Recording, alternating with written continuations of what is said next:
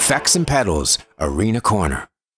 Hey guys, what's up? Billy Cardigan here with Effects and Pedals Arena Corner, and I'm here with the Ball Maria uh, uh, player who made the rock music in Philly tonight at the PhilaMOCA venue.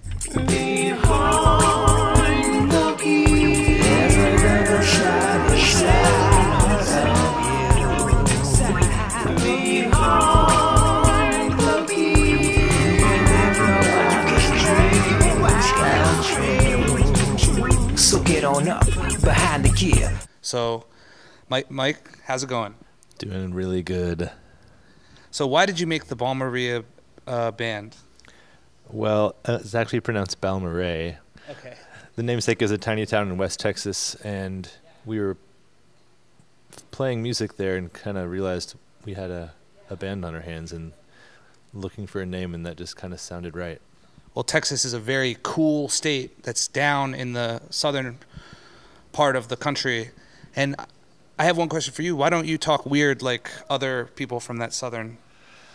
I don't know. Austin's kind of an island as far as culture and progressive thinking, so maybe that's that's why. Behind the gear. Well, we're here today to talk about the pedals because that's what makes music good and that's the most important part about any band and music is just the pedals that they use.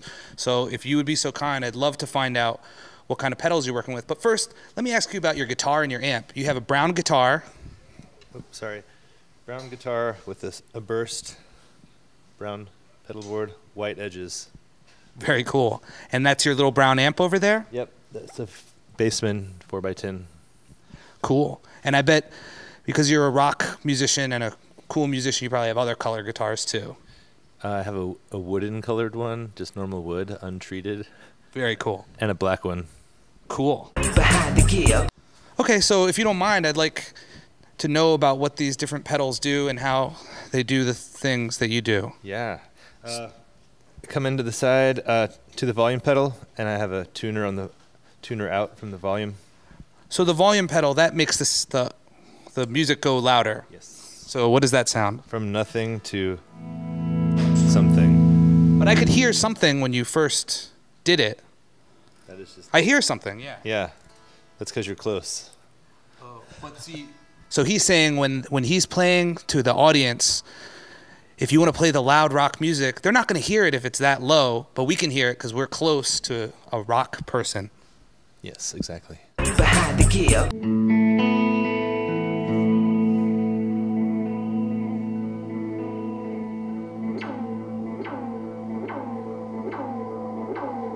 Wow.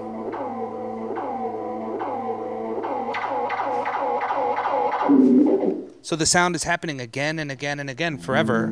So I imagine you could maybe use that on stage to just play, and then you can leave the stage to go to the bathroom or grab a water or some other beverage, and then the band can play along with whatever you set, left them with. It's like a babysitter. You can try it. Yeah, it's easy. Behind the gear. Uh, next, I have a Big Muff Nano, which is ironic in its terminology. It's a small Big Muff, which is just Wow. fu- A loud box, it's a fu- it's a fuzz box. Yeah, but it's a little pedal called the Big Muff White Pedal. right. The original one is a large footprint. The original one is a big gray one, but there's a little white one. Yeah, li- little white guy. Behind the gear. I have a DD6 uh, that I use in a in a reverse setting. White pedal. It's a white pedal with baby blue uh, accents. Uh, I use that for kind of ambient swells.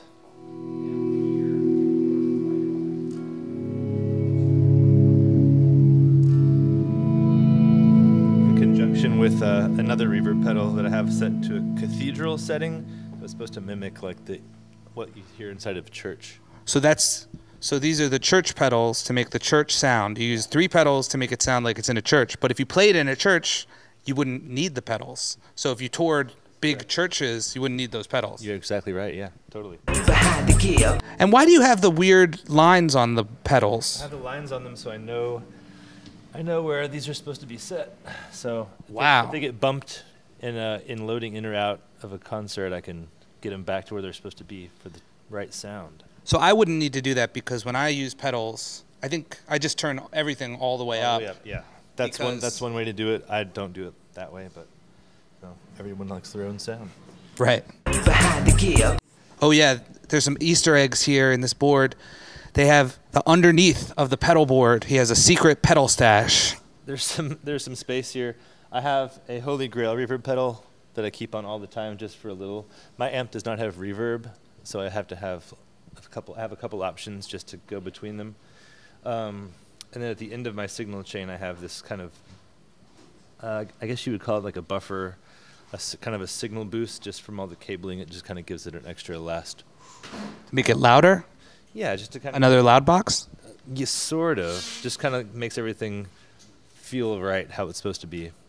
Well, that's very smart to have the hidden ones because you have the good ones under the board so that robbers and thieves that might be in the audience aren't going to steal the cool ones off the top. And you just keep the coolest, most important ones underneath as a security mechanism. So, shout out to you for thinking that. Yep, they'll never know. behind the gear, Well, Mike from the Bal- Bal- Band, we welcome you to Philadelphia and we hope you have a killer rock show tonight. Thank you. And uh, it was very cool to show us your brown guitar and some of the different colored pedals you have. So, guys, check out the Balmorhea, Bal- Balmorhea Band. Where can they check you out? BalmorheaMusic.com uh, f- and everywhere else on the internet. If you put in that name, you'll find us. Okay. Well, this has been Billy Cardigan with Effects and Pedals Arena Corner. And until next time, guys, we'll see you later.